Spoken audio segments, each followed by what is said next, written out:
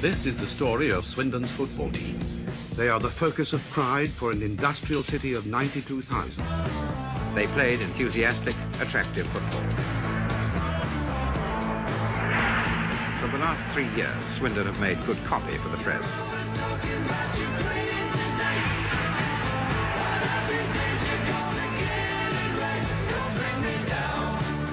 Congratulations to Lou Macari and Swindon Town. I'm delighted for the people who have polished Swindon. They've had a night to remember.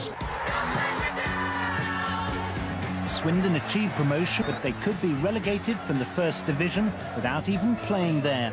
Tax-free payments have been made to players outside their Football League contracts.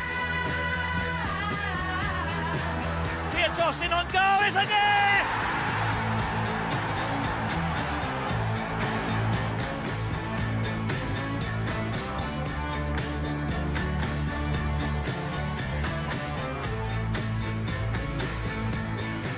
For day one.